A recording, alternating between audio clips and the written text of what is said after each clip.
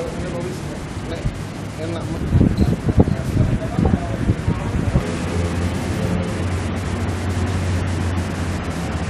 Tes.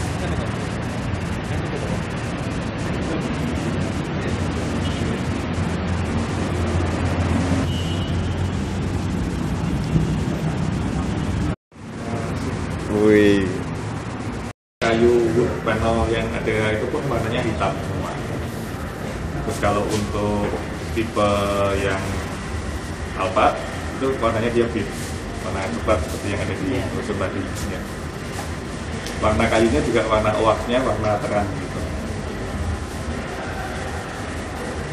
Untuk Semarang ya Pak ya. Untuk Semarang sendiri kita target sebenarnya nggak banyak Pak target sini untuk satu tahun itu sekitar 40 unit Untuk Semarang Mas ya.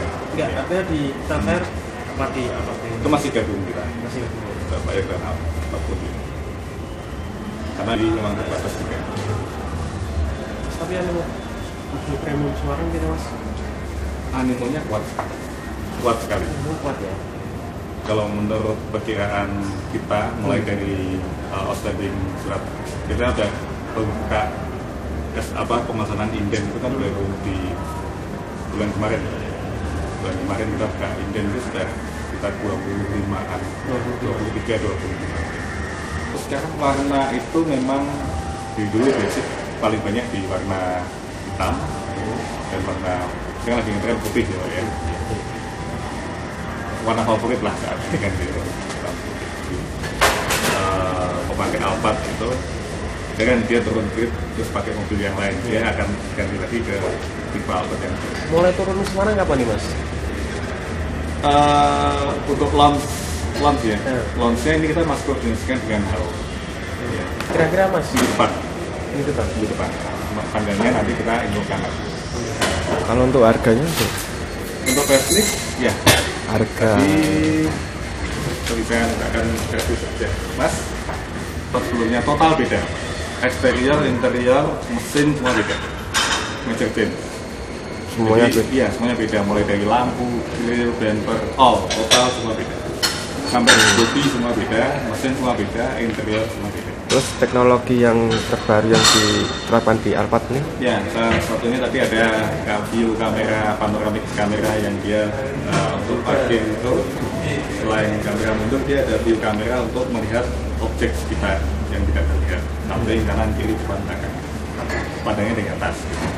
Terus uh, ada juga uh, smart start stop. Jadi yang tadi saat dia uh, berhenti di traffic light fitur itu bisa bisa diaktifkan untuk menghemat bahan bakar. Dia mati sendiri tapi begitu kita gas dia nyala sendiri kan terus ada juga untuk uh, wireless charging. Bantu memang di- kita harus tambah lagi uh, casingnya ya pak ya. Jadi itu ada casingnya bisa pembelian di kalau di Toyota kita belum dapat itu bisa di toko handphone bisa. Ini kita taruh ini dia bisa cas sendiri tanpa kabel. Wireless ya, itu ada di Alphard dan Java. Harganya Pak? Harganya untuk tipe mulai dari tipe apa tipe X 857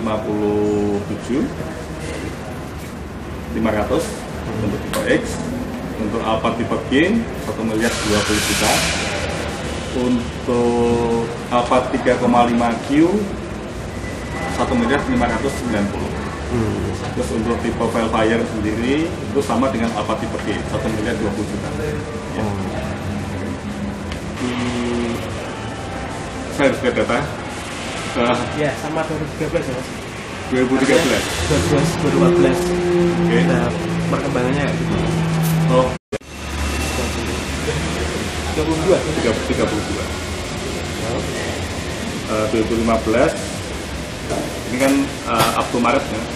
Karena kemarin kita masih ada sisa stok Alphard yang old yang lama itu sudah jual 6 unit